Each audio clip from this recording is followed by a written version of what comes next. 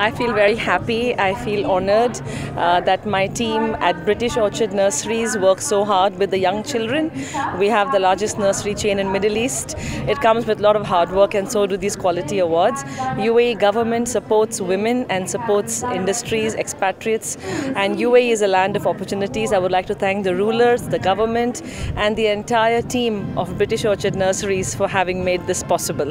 I would dedicate this to the ruling family of UAE, His Highness uh, Sheikh Mohammed, um, uh, because I do believe that he is a, a great leader and he's definitely my role model too.